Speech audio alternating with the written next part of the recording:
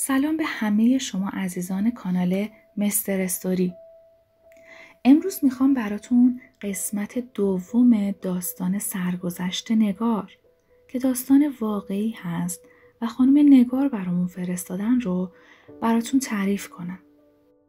نگار دختر 17 ساله داستان ما که از یه خانواده خیلی معمولی بود به تازگی توی یه کارخونه مشغول کار حسابداری شده بود. و داشت تو کارش کم کم پیشرفت می‌کرد و حالا ماجراهایی که براش اتفاق میافته. اگه تا الان عضو کانال ما نشدید حتما روی دکمه subscribe کلیک کنید زنگوله کنار اون رو هم بزنید تا از جدیدترین ویدیوهای ما با خبر بشید. اگه فکر می‌کنید که خودتون یا اطرافیانتون روایت یا ماجرای جالبی دارید می‌تونید به آدرس تلگرام ما که توی description براتون گذاشتیم بفرستید تا ما اونو با بقیه به اشتراک بذاریم. قسمت دوم سرگذشت نگار بریم بشنویم. یاسر ادامه داد شکر که بلند شدم. چه خبر؟ ما نبودیم کیا اومدن؟ کیا رفتن؟ حسنی نیست کی بارنامه می‌زنه؟ سهر دلبرانه گفت حسابدارمون. خانم میلانی چند ماه اینجا مشغوله.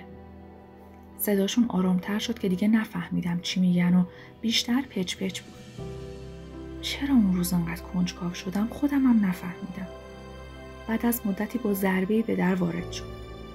زود خودم با برگه ها سرگرم کردم و وانمود کردم نسبت بهش بی توجه. صرفه کوتاه کرد و گفت سلام خانم میلانی خسته نباشی؟ سرم رو بلند کردم. چشماش از بس روشن بود نمی‌شد رنگش رو تشخیص داد. گفتم سلام سلامت باشید. از باربری اومدید؟ گفت بله بارنامه رو می‌خواستم. از تو برگه ها زیر دستم بارنامهش رو در آوردم گفتم آماده است. میدم چک کنن بدم بهت. گفت خودم چک می‌کنم. جلوتر اومد. بلند شدم سر پا. با اون کفشای اسپورتم تا شونه هاش بودم. شونه های پهن داشت و یک کوچولو شکم. برگر رو دستش دادم و همراهش رفتم تو حیات. بار زده شده بود. از دور وایسادم و شوخی کردنش رو با کارگرا نگاه کردم. متوجه شد که خیلی نسبت بهش دقت دارم. زود برگشتم تو دفتر نشستم. سهر مشکوک نگاهم کرد و گفت از گرما انقدر قرمز شدی؟ آهی کشیدم و گفتم آره بیرون خیلی گرمه. این آقا چی بود اسمش؟ لبخندی زد و زیر چشمی نگام کرد و گفت یاسر رو میگی؟ گفتم آره حالا چی می‌گفت بهت آروم؟ مشکوک می‌زدی شیطون؟ نکنه آره؟ سهر اومد کنارم نشست و از پشت شیشه در نگاهش کرد و گفت نه بابا دو سال اینجام و همه دو سالشم درگیر عشق داداشش محمدم از یاسر کوچیکتره ولی خیلی اذیتم می‌کنه. هر روز یه سازی می‌زنه. می‌دونم سر گوشش میجنبه ولی خیلی میخوامش. گفتم خدا به هم برسونتتون. حالا چرا زودتر نگفتی؟ ترسیدی به کسی بگم؟ گفت راستش باهات احساسی که الان دارم و نداشتم. یاسر سوار بر ماشینش تا جلوی در خروج اومد. ما سمت راست ماشین بودیم. به طرف صندلی شاگرد خم شد و صدا زد. خانم غفاری سهر در رو باز کرد و گفت بله. گفت خسته نباشی. خندید و پاشو روی گاز گذاشت و رفت. دل منم از جا کند با خودش برد. سهر خندید و گفت فکر کنم جای پاش به سرش ضربه خورده. پسره احمق منو دست انداخته. گفتم همینجا زندگی می‌کنن؟ گفت آره بابا. باربری واسه داداششه. چهار تا برادرن. دو تا بزرگا متعهلن. یاسر و محمد مجردن. یاسر متولد 61. داشتم با خودم حساب می کردم هفت سال اختلاف سنی داشتیم. من متولد 68 بودم. سهر ادامه داد محمد با تو همسنه ولی خیلی کله شبه. تعتقاری و خیلی مغرور. گفتم حالا یاسر چطور آدمیه؟ گفت نمی‌دونم والا. زیاد با کسی اینجا حال نمی‌کنه. قبلا با یکی از دخترای تو سالن دوست بود اونم که خیلی وقت رفته. پارسال تولد دختر برادر دومیش بود. اسمش کیمیاست نه سالش می‌شد. نمی‌دونی چقدر خوشحال بود. چون خواهر ندارن. برادر بزرگش هم پسر داره. کلا عاشق کیمیان آورده بودنش اینجا. من براش کادو خریدم. ولی محمد تولد دعوتم نکرد. گفت خانوادم هستن. گفتم حالا چی پچ پچ می‌کردی؟ گفت راستش پرسید حسابدار جدید خوشگله یا نه. منم گفتم خیلی خوشگله. چشمای درشت مشکی ابروهای مشکی لبای خوشگل پوست سفید موهای پرپشت قد بلند. ولی به نظرم یه کوچولو کفش پاشندار بپوشی بهتره ها؟ شیکتر میشی.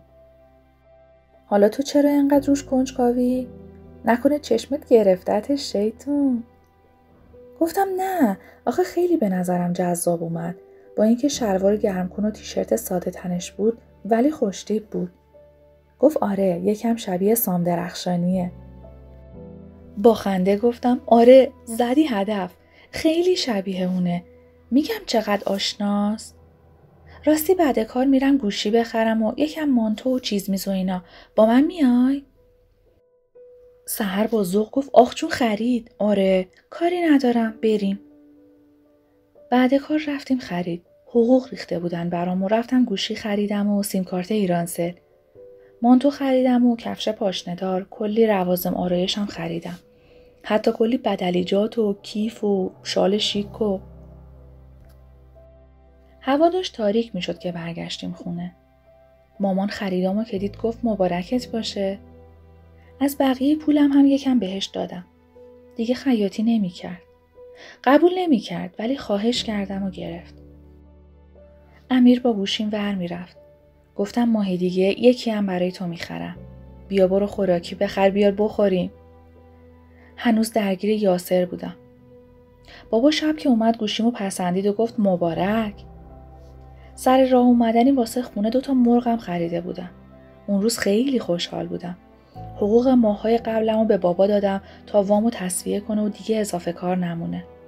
بابا خیلی خوشحال شد و گفت کم کم پول تو پس میدم. من راضی نیستم تو کار کنی خرج این خونه بشه. حداقل پس انداز کن واسه آیندت گفتم چشم بابا. همین که هرچی می‌خوام می‌خرم و میگردم راضیم. من تا قبل کار تنها نتونسته بودم برم خرید. بازار خرید با خونه ما فاصله داشت و با ماشین یه راه بود. الان احساس استقلال می‌کنم بابا پیشونیمو بوسید و گفت پس خدا قوت ندا و آرش وارد شدن آرش تازه چهار دست و پا می‌رفت و وقتی میومد ساعتها سرگرم بودیم باهاش امین شبکار بود و ندا مثل همیشه مهمون ما ندا لباس همو کدید گفت نگار چه خبره؟ انقدر لوازم آرایش می‌خوای نقاشی بکشی مگه؟ خودت به این خوشگلی؟ خندم گرفت و گفتم نه. اونجا تمام آدما شیک میان و میرن. من خیلی سادم در مقابلشون. گفت آهان پس داری شبیه همکارت سهر میشی؟ اون بدون آرایش زشته ولی تو بدون آرایش خوشگلی. اون شب هیچ چیزی نمی‌تونست منو بخوابونه. منتظر فردا بودم و دوباره دیدن یاسر. فرداش وقتی رفتم تو دفتر سهر ابروشو بالا برد و گفت چیکار کردی با خودت دختر؟ چقدر خوشگل شدی؟ چقدر عوض شدی؟ از خوشحالی بغلش کردم حتی وقتی آقای حسنی اومد داخل اونم با تعجب نگاهم کرد و سلامم و جواب داد. بعد از ناهار سفارشات آماده بود. سهر زنگ زد که پنج تا ماشین بفرستم باربری و من تو دلم آشوبی به پا بود. آقای حسنی اون روزا خیالش از کار راحت بود و تا ظهر بیشتر نمیمون چون شغل دوم هم داشت و خودش تو بازار مغازه ظروف یه بار مصرف داشت. خودم رو تو آینه چک کردم و بارنامه ها رو آماده کردم که اومدن. محمد و یاسر و سه تا راننده دیگه هم بودن. ماشینا رو گذاشتن تا بار بزنن. محمد اومد داخل دفتر. سلام داد و چشمکی به سهر زد. بارنامهش رو بهش دادم و گفتم فاکتورای اون هفته رو هنوز تحویلم ندادید. گفت تو باربری جا گذاشتم. یهو یاسر از پشت سرش گفت من مسیرم نزدیکه یه بار با فاکتورای امروز براتون میارم. یاسر سرش رو از پشت داداشش به طرفم خم کرد و خواست سلام بده که اول مکس کرد و هم کرد و بعد گفت سلام. لبخندی به هی زدم و گفتم علیک سلام. محمد و سهر پچ پچ می‌کردن و مشخص بود سهر عصبی و درهم شده. تو محیط کار نمی‌تونستن زیاد راحت باشن. من روی مبل تو سالن نشسته بودم و یاسر هم اون طرفتر روی مبل. سرش توی گوشیش بود. نمی‌دونستم چی بگم و چجور سر صحبت رو باز کنم. پای راستم رو انداختم روی پای چپم و گفتم ببخشید آقا یاسر اینجا زمین متر چنده؟ سرش رو بلند کرد. چقدر برق چشماش گیرا بود. با تعجب پرسید خندشم گرفته بود از سوال مزخرفم. می‌خواید زمین بخرید؟ آب دهنم با زور قورت دادم و گفتم بله یه پسندازی داشتم نخواستم بی بهره باشه. ابروهاش تو صحبت کردم بالا می‌رفت. گفت زمین که هست. از متر سی چل تا دیویست تومن. بستگی به جاش داره. و باز سکوت حاکم شد. ولی این بار اون بود که گفت شما از کجا میاید؟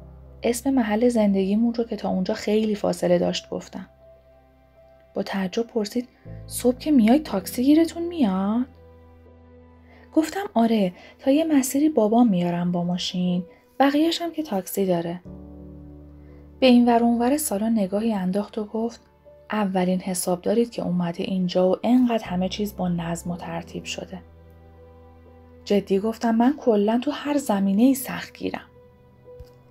یه جوری نگاه هم می‌کرد که دلم آتیش می‌زد.